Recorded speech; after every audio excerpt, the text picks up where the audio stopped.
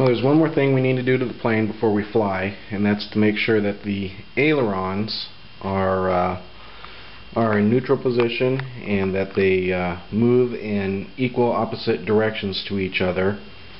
And the first thing you want to do is you want to make sure that with your radio on, battery in, um, that everything on your transmitter is set to zero. So you can see it without being in the light here. You want to make sure that this is in the center and that there, if there's any inputs uh, in the settings that they're in the center position. And then you also want to make sure that your ailerons are centered in the wing. And as you can see here this one with everything neutral this aileron is off. So what we'll need to do is we need to go to this clevis pin and take it out and um, move the clevis pin either in or out to make sure that the aileron is centered. So we'll go ahead and uh,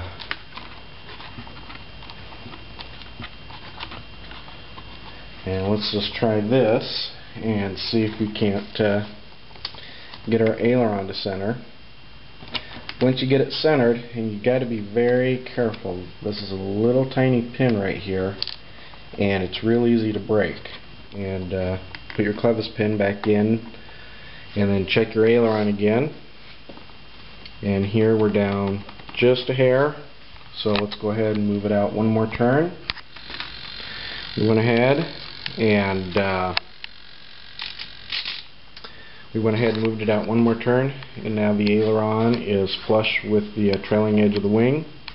So go ahead now and there's a little tiny tiny nylon tube uh, silicone nylon tube that locks the clevis pin into place. And we're uh, even with the uh, trailing edge of the wing here. So go ahead now go back to your radio and move your ailerons back and forth.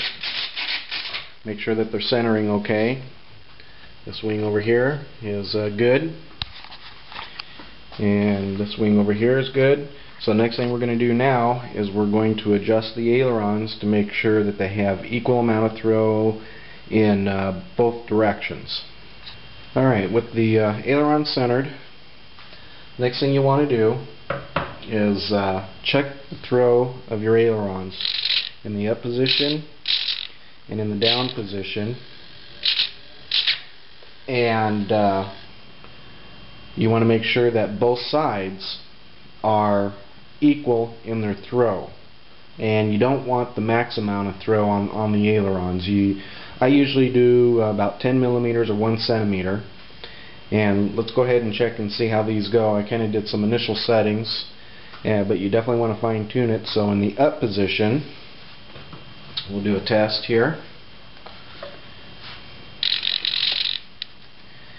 and I just lay my ruler right where the uh, aileron and the tip of the wing are.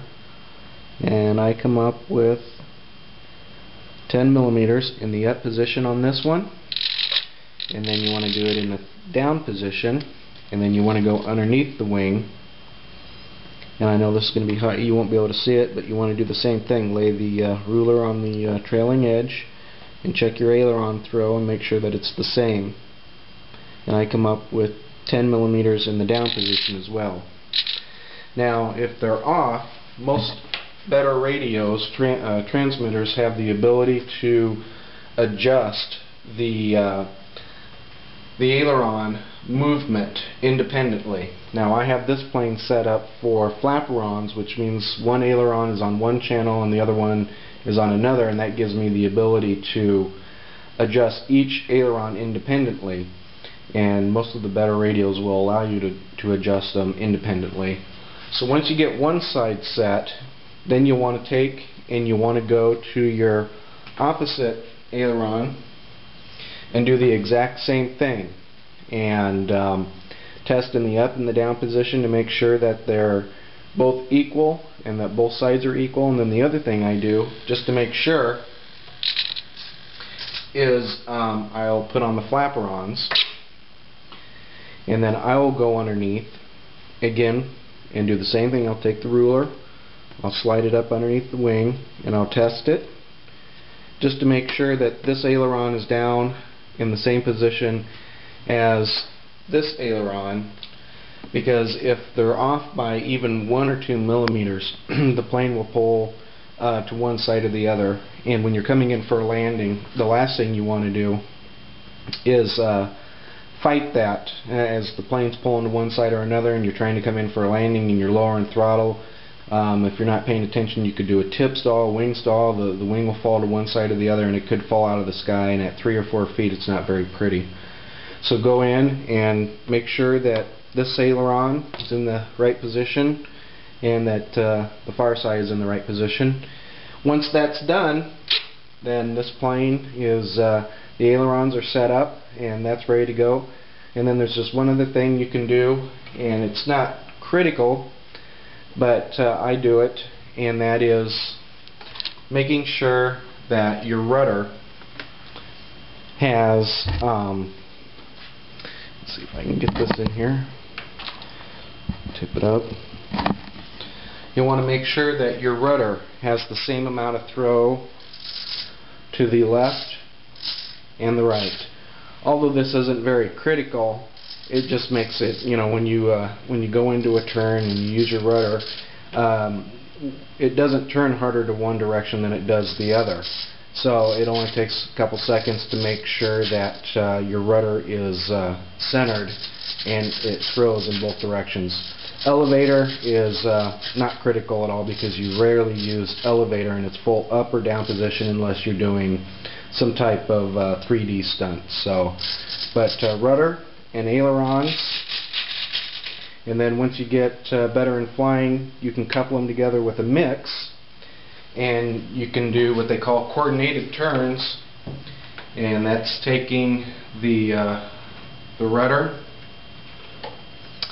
and the ailerons try and get in position here for you you can take the rudder and the ailerons and couple them together and when you turn the plane, you can see both ailerons and, and rudder are coupled together. And they call that a coordinated turn, and what that does is it just uh, helps pull the tail of the plane through the turn. It just makes for a much nicer, uh, much, much nicer turn. So this plane's ready for a maiden fly. We're just waiting for weather.